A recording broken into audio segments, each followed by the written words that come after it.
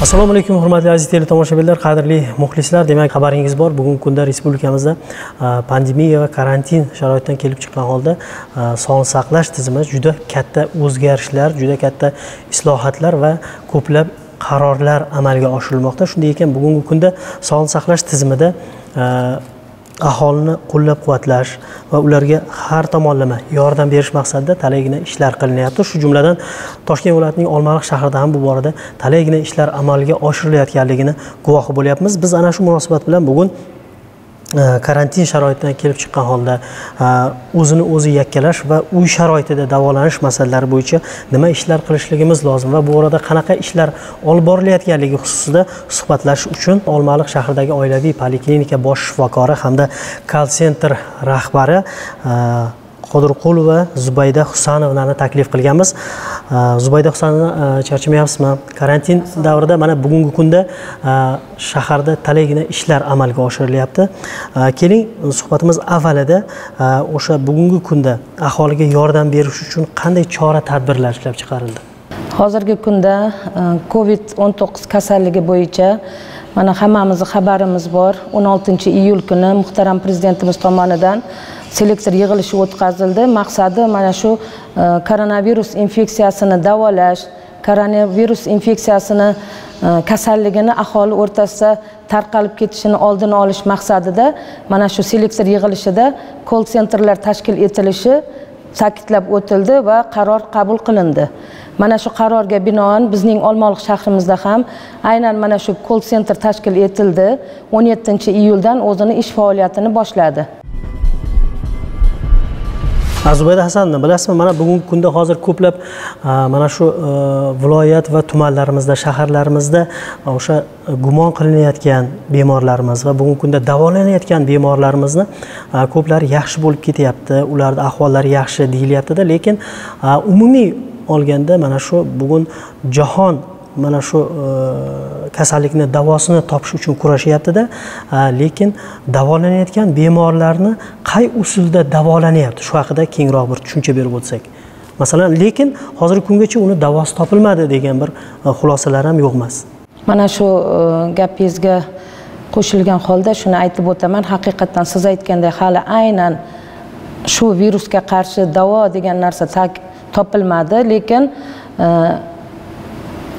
standart davolari aytib o'tilgan va mana shu standart davolar asosida e, bemorlarimizga muolaja buyurilyapti. Bu demak azitromitsin tabletkasi sinovdan o'tilgan e, tadqiqotlardan o'tilgan ma'lum darajada o'sha virusga ta'siri borligi uchun va ko'proq asosan belgisi e, yuqori harorat bo'lganligi uchun paratstamol tabletkasi. Eng asosiy standart bo'yicha hozir buyurilayotgani mana shu azitromitsin va Э, paratsetamol tabletkasi bundan tashqari demak э, simptomatik davo deymiz. Bu bu degani demak o'sha qanaqa belgilari namoyon bo'lganiga qarab kimdadir e, tomoq og'rig'i bilan kimdadir yo'tal bilan yana kimdadir tomoq qichishi yoki ta'm bilmasligi e, ayrim hollarda esa ich ketishi qusish bilan kechyapti. Ana shu qanaqa ketishiga qarab simptomatik davolari ham qo'shimcha buyurilyapti.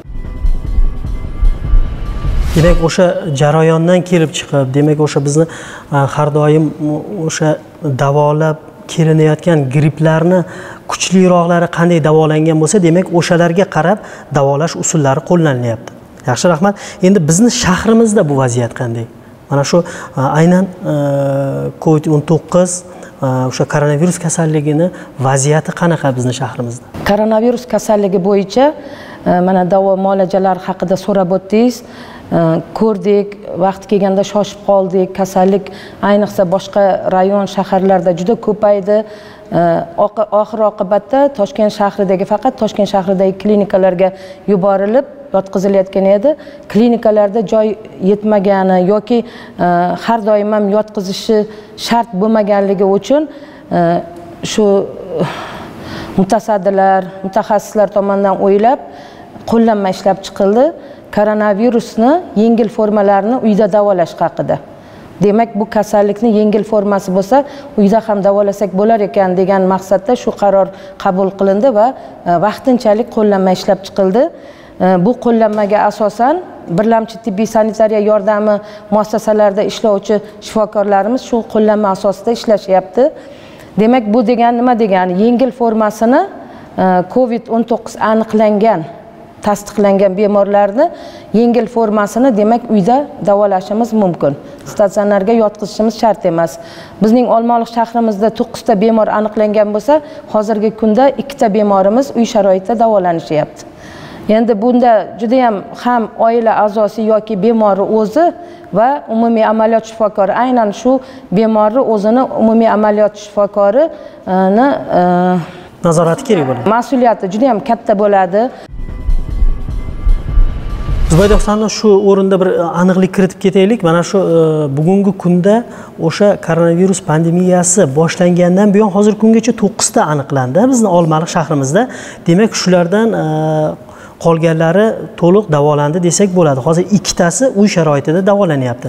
Bularni uy sharoitida davolanishi uchun qanaqa sharoitlar yaratildi? Mana masalan kasalliklarni o'zidan o'zi yuqadigan kasallik ekanligini hammamiz yaxshi bilamiz lekin o'sha oilada davolanish e, qo'shimcha muammolar keltirib chiqarmaydimi va unga qanaqadir alohida bir yo'riqnomalar bormi? Mana mana shu aytganimdek boyagi aytgan qo'llanmamda hammasi aniq tiniq yozib qo'yilgan.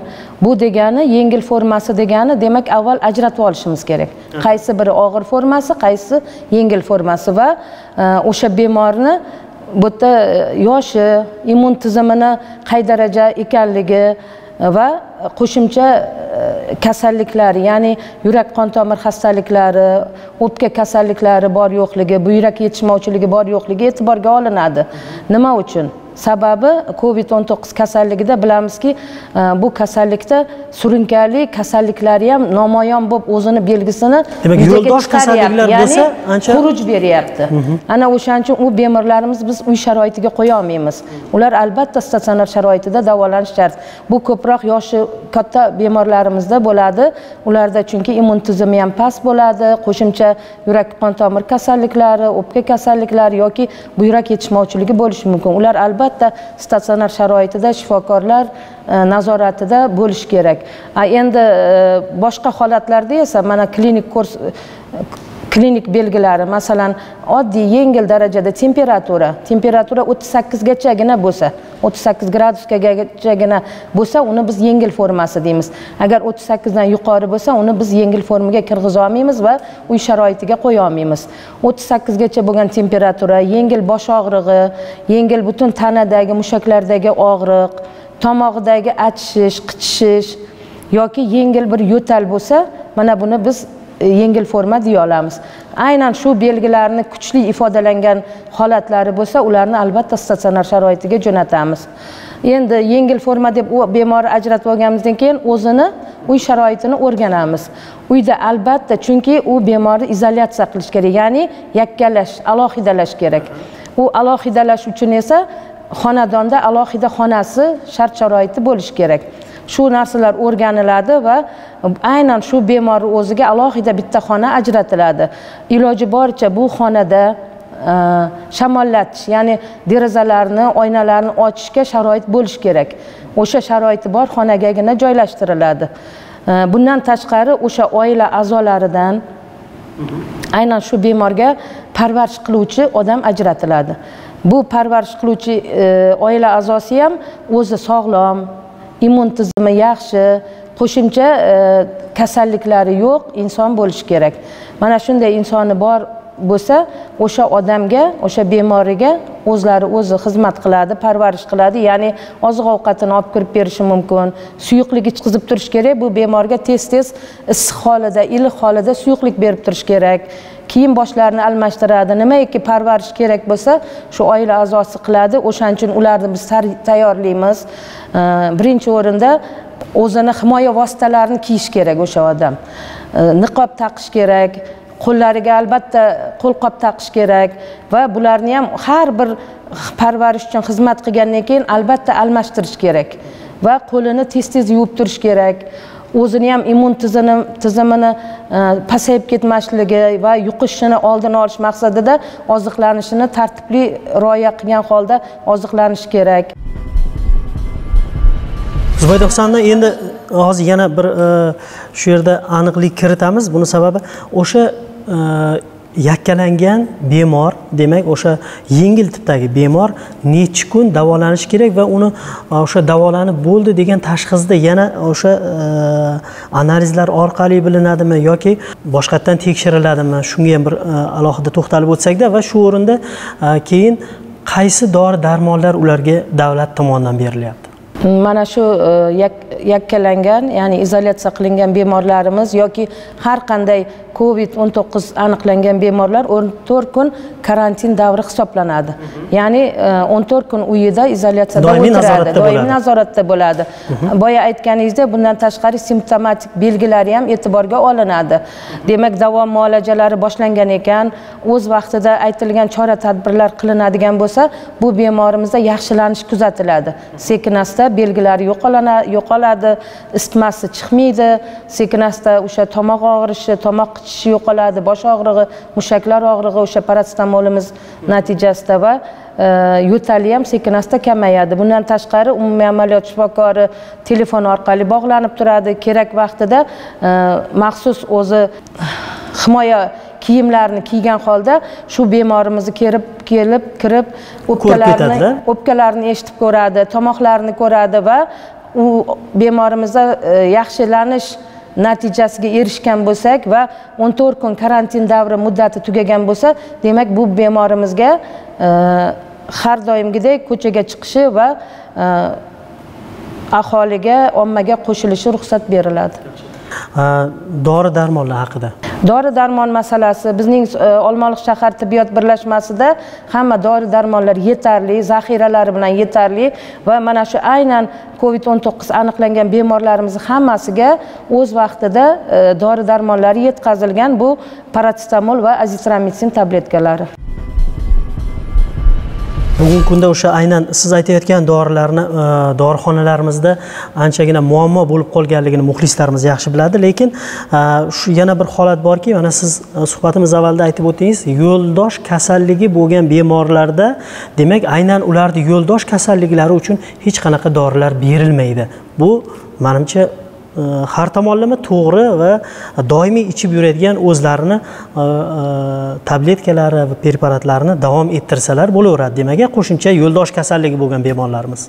bir yuz sakson sakkizinchi hamda bir yuz yetmish oltinchi sonli vazirlar mahkamasini qarorlari qabul qilindi. Bu borada juda ham ko'plab gaplar gapirilyapti. Qolaversa har doim mana shu karantin sharoitida hammamiz ehtiyot bo'lishligimiz va ularga e, mana shu sog'liqni saqlash bo'limlari tomonidan yordam berilayotganligi haqida e, ko'p gaplar aytilyapti. Shu o'rinda siz mana kall e, rahbari sifatida bugungi kunda bo'layotgan murojaatlarni e, qanday izohlaysiz?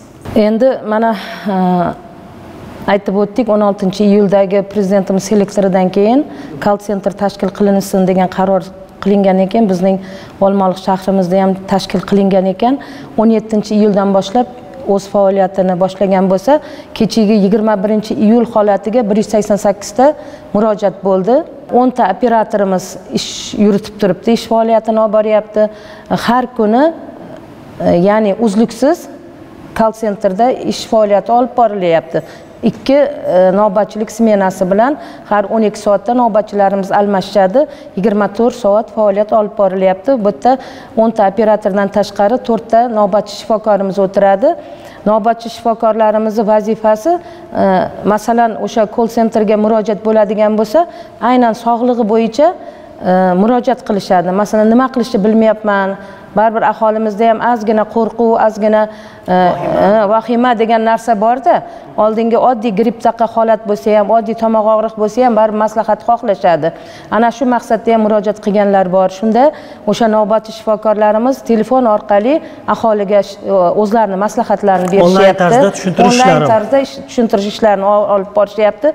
Agarda shu holatda shifokorlarimiz maslahat berayotgan holatda boyagi aytganimdek e, o'ttiz sakkiz emas o'ttiz to'qqiz to'qqiz qirq temperatura bo'lsa kuchli nafas siqishi bo'lsa kuchli e, tomoq og'rig'i bo'lsa kuchli mushaklardagi og'riq kuchli holsizlik shunga o'xshagan kuchli kuchli belgilar bo'lsa bizda faoliyat olib borayotgan ikkita mobil guruhimiz bor.